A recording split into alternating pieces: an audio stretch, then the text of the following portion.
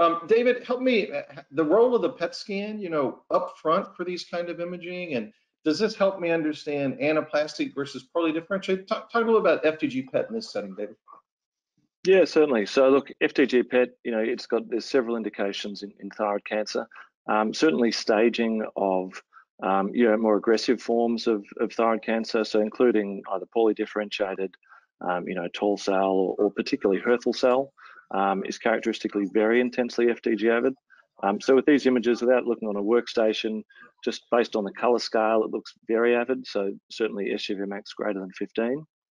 Um, and with Hürthle cell carcinoma in particular, um, because of that oncocytic phenotype and a mitochondrial uh, defect in oxidative uh, phosphorylation, you know, which is a characteristic feature of that, you can get very, very intensely avid uh, disease, you know, SUV max above 50. Um, it also, so it's certainly helpful to stage and we can characterize, uh, you know, the extent of the disease very accurately. Um, it also provides very important prognostic information. I mean, we can gather that already from other clinical cues, um, but certainly with that degree of the intensity of avidity, um, it also confirms it's more likely to be an aggressive malignancy.